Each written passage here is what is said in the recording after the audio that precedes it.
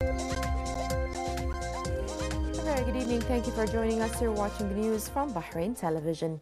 His Royal Highness Prime Minister Prince Khalifa bin Salman Al Khalifa received members of the representatives and shura councils and senior state officials today. His Royal Highness stressed the importance of strengthening cooperation and unifying stances in order to eliminate dangers and challenges facing the nation.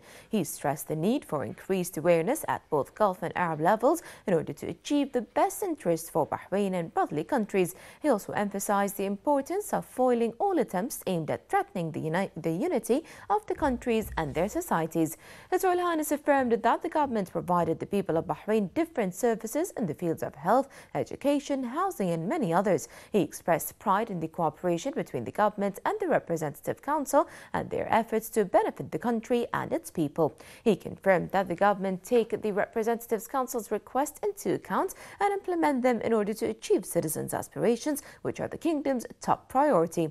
His Royal Highness Prime Minister stressed that the government will always overcome challenges to achieve the aspirations of the country and its people, pointing out that the government works on speeding up projects related to citizens, stressing the government's keenness to provide high living standards for the people of Bahrain.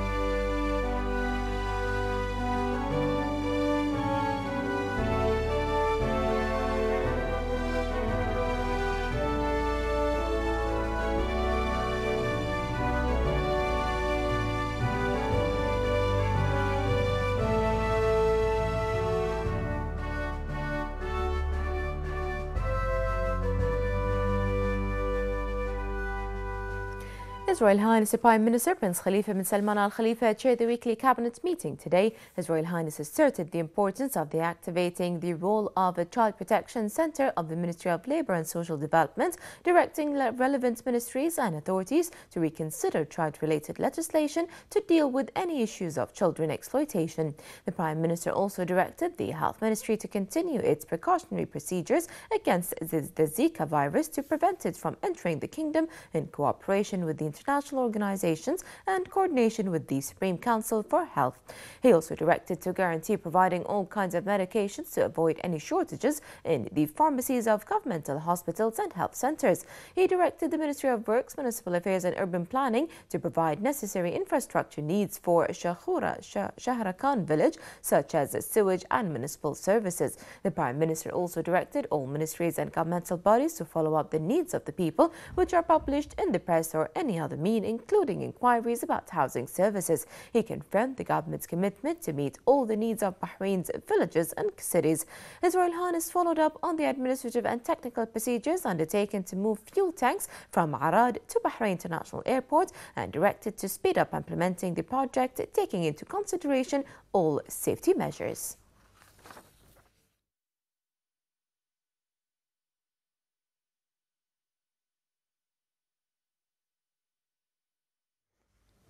The Cabinet meeting discussed a number of issues on its agenda, including a draft law that allows imposing travel bans on suspects of terror crimes.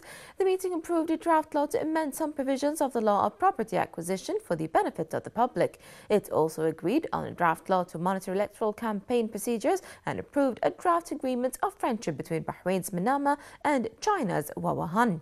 An air services agreement between the government of Bahrain and the government of Finland was approved. It reviewed the results of the national test of the sixth grade of May 2016 and were transferred to the Supreme Council for Education and Training Development. The meeting also discussed a proposal from the Council of Representatives regarding adopting the use of international article number, the barcode.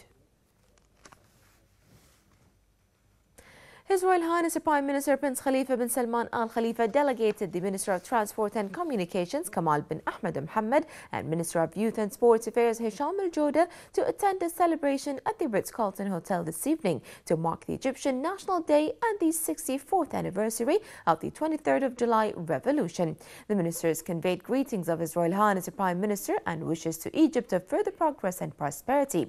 They also underlined the historic relations between the two countries and peoples in various domains.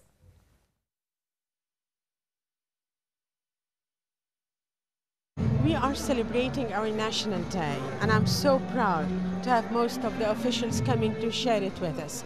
And I just emphasized in my word that we are accustomed to that. Bahrainis are usually with Egyptians in most of the occasions. So I thank them for being here and I thank them for sharing this occasion with us. If you just ask any Egyptian over here, he'll tell you that Bahrain is his second home and and Bahrain has something special about it. People feel home here, and I just have the pleasure to inform you that His Majesty the King and our President they are constantly talking to one another to make sure that they are activating all agreements. They are putting it into effect, which is something that makes us feel very responsible, and we are having constant meetings to make sure that they are put into force. The Bahraini-Egyptian relations has. Uh, has been developing and uh, nurturing for many, many years. Uh, uh, we're privileged that just recently, during His Majesty's recent visit to Egypt, uh, there were just around 21 bilateral uh, cooperation agreements and memorandums of understanding in, in so many different fields. Uh, we aspire in Bahrain to boost our relations with Egypt uh, in all such fields, and we look forward into implementing these memorandums of understanding and uh, agreements shortly.